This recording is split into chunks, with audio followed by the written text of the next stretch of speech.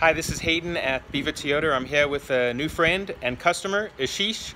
Uh, he bought a 17 Toyota Corolla from us. And uh, Ashish, tell us about your experience.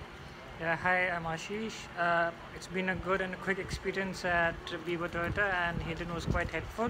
So the minute we came here, he got the right car for us, showed us around, and did a quick test drive, and all the paperwork and everything is done quickly.